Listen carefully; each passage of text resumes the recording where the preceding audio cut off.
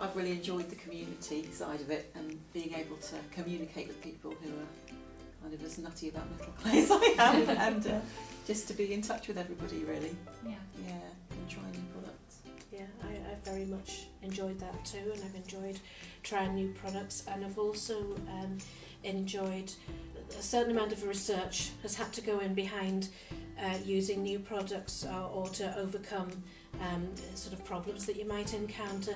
So uh, I've actually learned an awful lot by doing the background research, and it's it's advanced my practice a lot. Yeah, I think it's been helpful to have the, the Facebook group to share with each other and the fact that we have all had not exactly the same things but we've been able to kind of have those discussions and kind of oh, you know, how are you finding this or how are you, what, what are you doing with that and it's just been a really nice way to try new things like you just said I think.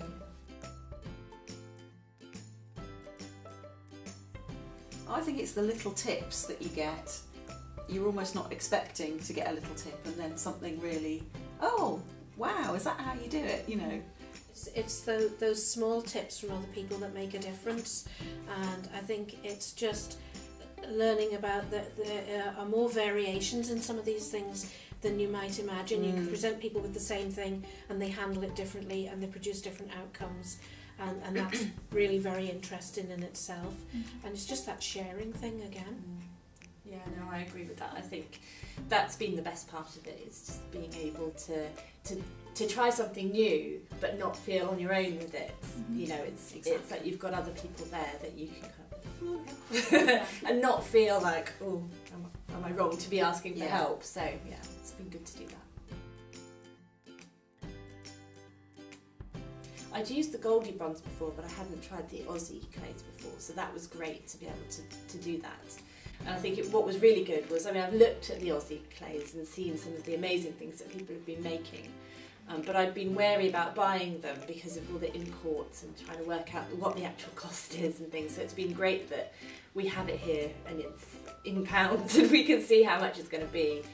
and we all got to try the sterling, didn't we, as well? Oh, Which yeah. is Yeah. brand new. Yes. No, that's very true. Kind of forgetting about that, but it was great to be able to try the sterling in advance, and it was actually I found it quite helpful.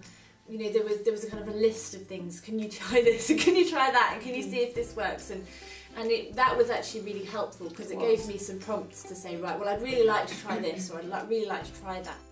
the 950 in advance. It was a real surprise, um, but it was a special moment as well because you could see all the sort of the, the global leaders in metal clay were, had been Yeah. asked to uh, to review it in advance of its launch, and then suddenly we were asked to do it and felt like metal clay royalty. Then you know.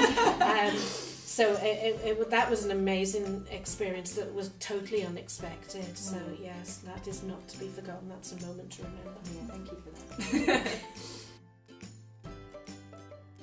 I think it, for me it was the challenge part of it.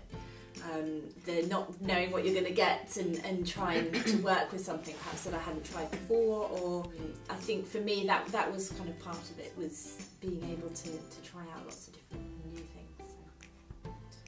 was because um, I, I actually found it quite um, daunting the thought of applying for it because I sensed that it probably was going to be quite demanding.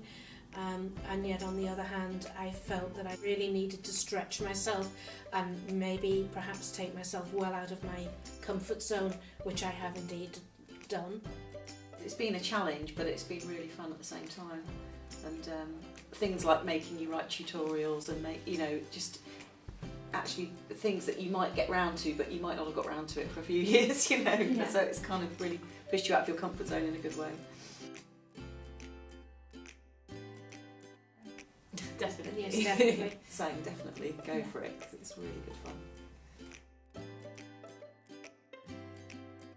I think certainly what I did notice was um, an awareness of my website and my Facebook page. I, I think people were maybe seeing things that I had done as a maker and were investigating and exploring that. So I think it's promoted my business a little bit more widely and raised the awareness of it. Mm.